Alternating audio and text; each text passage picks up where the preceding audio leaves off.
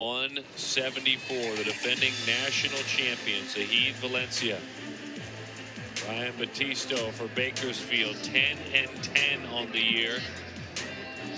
3 0 in conference play, the history major, but one of the best wrestlers in the land. Zahid, 25 and 2.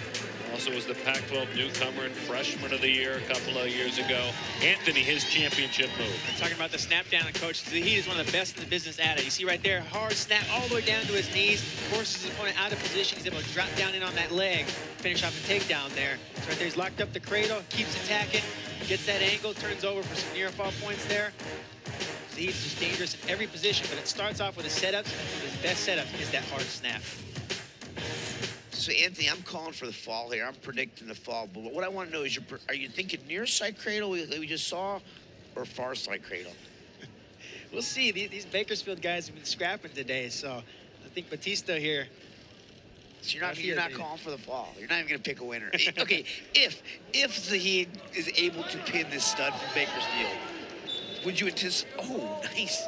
Would you anticipate near side or far side? You got just just to say just if he I would say near side. I think near side's more common for him. He's got them both. I mean, he does them both pretty equally, I think. I don't know. Top. But he, he's quite the cradler. Daniel Lewis from Mizzou got Zahid earlier this year, the first time he had ever been pinned in college. So that hands the face roll right there as he awarded that point, but he's got two quick ones. I'm sorry, Darren. Say it again. So he's only been pinned. In, oh, so he's only been pinned once. once. I was thinking about the Bakersfield guy. Once. Right. Lewis got him in the far side cradle. We were in attendance for that one, he and I. Yeah, that place. The place must have went silent, huh? It was church. It was church. it was the Newman Center, the Catholic church right yeah, here on campus. oh my! I bet it was a motivator for Zahid he's definitely coming out firing. This is this is the, to me the key. He needs to keep this up all the way through nationals. That's how he's going to repeat as a national champion. He's looking to score. He's not hanging in ties. He, he's shooting within every five seconds. Really, he's always on the attack, and that's what makes him so dangerous. I agree. The high volume. I agree with you, Anthony. I mean, he's a special wrestler. When he is just relentless, when he's focused and intense, and he's so quick and long. So he was, I believe he was a 106 pounder as a freshman in high school. So he learned to wrestle as a little guy. He just kept getting bigger and better and improving and grew like crazy. Junior, senior high school, he just, uh, yeah, it's pretty amazing. Look at those long arms. So here's what's pretty cool fact. So we had a great world championship. He got he's saving one for escape, but he's, he's still. He's saving up for the near side. That was far side. Didn't want to get it too tight. That was the snap you talked about. Two more. He's getting greedy. A minute and a half into the match, he's throwing cradles around. That was a sweet misdirection. He clubbed the head on one side, got the single duck the other.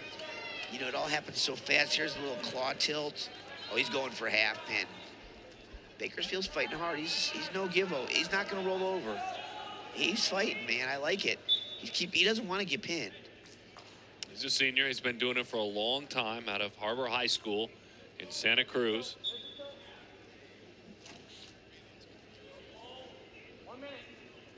Plus six right now for Zahid.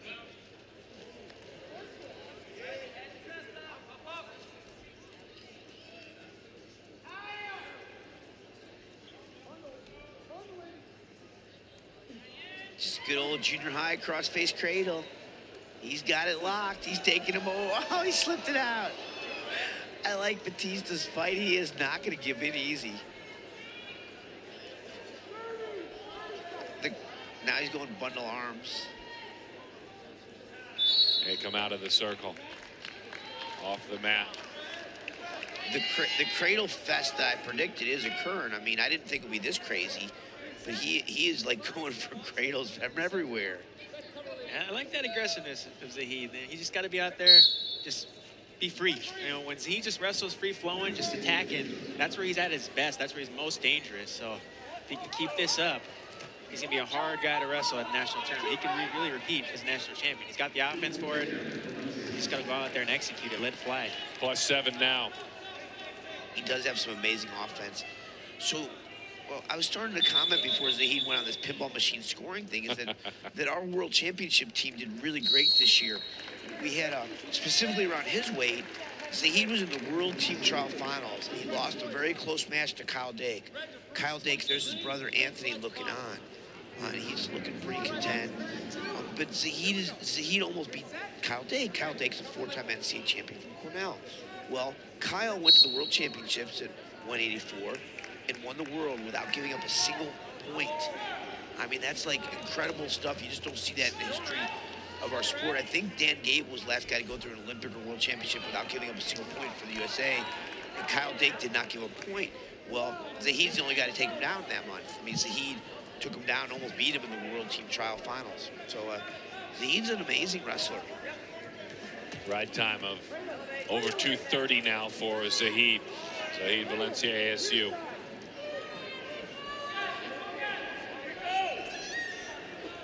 Looking towards the NCAA championships as we think about our top Pac-12 athletes, the three with the best chances to win an NCAA title are Zahid, along with Ronnie Bresser, who won earlier at 125, and then also Amar Dhesi, who will look for heavyweight. And this man could be the end. He's looking like he has it pretty tight. I don't think so. The shoulder, that left shoulder is way too far up. And I just don't think Battisto's going to give up too easily. He has been stubborn, quite relentless. Four points, though. Still a lot of time, but Zahid, he, he should take your advice, Anthony, and go near side. Four near fall points just a moment ago. All right, so we got a potentially dangerous call. But uh, in general, I think the near side cradle is a tighter finishing cradle than the cross face far side, especially in this case where this this opponent's shown now four or five times the, the ability to keep from getting turned over or pinned from. Now the roll through has a good idea. Uh, Zahid trying to put it down. sucks him back. Trying to put it away. He's getting slippery. He's got to bring that. He's got to bring that right arm through. I can't see the far shoulder. That that right shoulder is still up. He's got to bring his right arm through. It's almost Valencia trying to win a championship. That ends the period. You give him four near fall points. Frustrated Battisto, elusive. He thought he had him. Let's watch.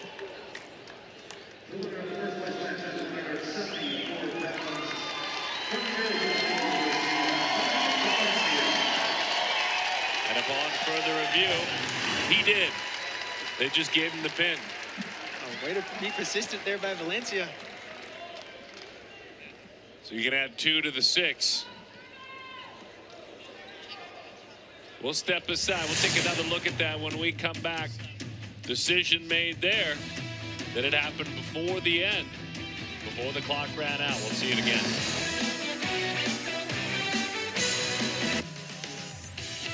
Zahid Valencia victorious with the tech fall. He had gotten to the magic 15 mark. He was very close to having a pin, and Zahid joins us. Hey, congratulations on another championship, young man. I'm going to tell you this right now.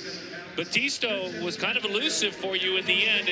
Maybe a pin, for sure a tech fall, but, but what were you most proud of? Uh, just being able to compete out here with uh, my teammates. You know, it's a close, it's a close race right now. So Yeah, you guys needed the points. yeah, I know. I mean, two, two tough matches for me. I got the tech falls. I mean, I was hoping for pins. It's a controversial call, but I mean, I don't know what the refs saw, but he he made his call. You clearly saw the fall, Zahid. We give you the referee's whistle in the future. Hey, looking forward to NCAAs. Talk about your mindset, your preparations. You're looking to repeat as NCAA champion, and you know perhaps to you know rematch potentially against Lewis or Hall. Yeah, I mean, the end the end goal is always to be an NCAA champ. I mean, I've taken two tough losses this year, but I just believe that's a blessing for me. You know, after going undefeated last year, I need those kind of losses to improve, evolve my wrestling, and continue to stay hungry for for what I want. That's another national championship. Zeke, you had a great season. You talked about those losses. What's the number one thing that you learned through this season going into the Nationals? Like the, the best thing you learned to help you improve as a wrestler overall? I mean, I guess it's just not to stay complacent. I mean, when you're the number one wrestler, there's a target on your back between the number two guy to the un- to the unranked guy. I mean, they're out there to try to beat you. So for me, it's just continue learning from my coaches, evolving my wrestling. Don't do the same thing over and over again because people are gonna catch on. Hey, go get a national championship, okay? Okay, thank you. All right, Zahid Valencia, Pac-12 champion with the tech.